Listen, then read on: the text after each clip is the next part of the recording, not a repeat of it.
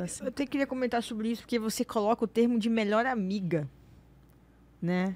Você, é porque chega. É porque chega. É que eu não posso dar muito spoiler, peraí.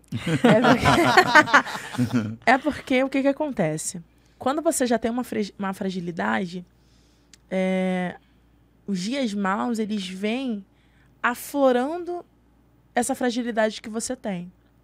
Então, quando esse mal chamado depressão se aproximou de mim, ela vem, ela veio alimentando a minha fragilidade. Então, parecia que combinava muito. uma carência que você tinha, no Sim. caso, e aí Sabe? Parecia que a gente combinava muito. É literalmente, eu, eu, eu falo como se literalmente fosse uma pessoa, porque a gente combinava muito. Eu já chorava, chorei mais um pouquinho. Eu já ficava triste, ficava mais um pouco. Parecia que a gente combinava muito. Por isso o termo melhor amiga. Porque eu afastei todo mundo e me agarrei nela. Porque ela me entendia. Até porque ela me conduzia ao patamar que ela queria que eu ficasse. Então, assim, eu abracei a depressão e a depressão automaticamente me abraçou. Então, por isso que eu uso esse termo melhor amiga, né? Porque literalmente ela, ela alimentava as minhas fragilidades e para mim estava tudo ótimo. Porque para mim ela estava me ajudando. Olha como é que a gente fica cego, né? Caramba. Pra mim eu tava super legal. Porque, vou dar um exemplo aqui. Uma pessoa que é muito ferida em amizade. O normal, o normal da carne é perdoar? Não. O normal da carne é dar a segunda face? Não. Não. Qual é o normal que essa melhor amiga te indica a fazer? A guardar rancor, Dá na cara da pessoa. entendeu? A criar uma mágoa, a tentar ser melhor do que ela.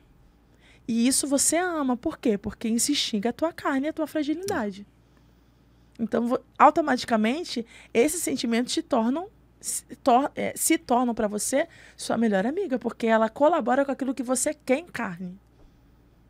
Caramba. É muito forte, é muito profundo isso, na verdade, né? Muito profundo. Então, por isso que eu trato a, a- a depressão como a minha, minha ex-melhor amiga. Porque eu já queria ficar afastada, ela, ela, e eu ouvia a voz dizendo: então se afasta mesmo. Se eu fosse você, se afastava. E eu, "Tá, é, é isso aí, vou me afastar mesmo. E chega um momento que, assim, você chega a curtir a depressão, não? É claro. Tipo, como se fosse uma coisa que te alimentasse também. Isso. Caramba. Você um, um termo que era como vocês combinassem. É como se fosse é, é, duas pessoas que vão combinar a mesma roupa, né? Teve tentativa de outras pessoas também serem sua melhor amiga e não. E de você afastar? Hum, acho que não. Por isso que eu falo que, que é, é, esses maus, que, que são inúmeros, né? A depressão é um dos maus.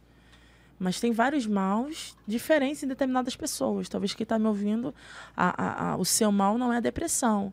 Mas o seu mal talvez seja a vingança. Uhum. Talvez o seu mal seja o rancor, talvez O o, seu mal seja, seja o ódio, a bebida. Não sei o nome do seu mal, não sei o nome da sua melhor amiga, né? Sua ex-melhor amiga, no caso. Mas elas vêm alimentando a sua fragilidade, o que, que a sua carne quer. Porque o adversário ele não vai alimentar o seu espírito. Ele alimenta a sua carne e te aprisiona nela. Então, se eu me acho, me achava no caso, se eu me achava sozinha, mesmo tendo uma família que me apoiava, ele vem alimentando isso. Eu acho que você é sozinha mesmo, hein? Se fosse você, aproveitava e se afastava de quem já estava perto. Era isso que eu sentia. E aí eu me afastava mais.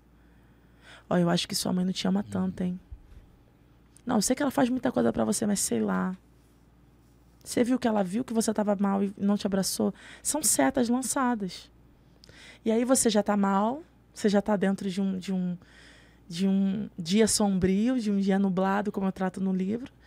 Então você parece que conecta. Você fala, ah, é, essa, da, essa, é, é, essa daqui tá, tá, tá mais aliada do- do- comigo do que pessoas normais. Então a gente se, a- se abraça nesse negócio.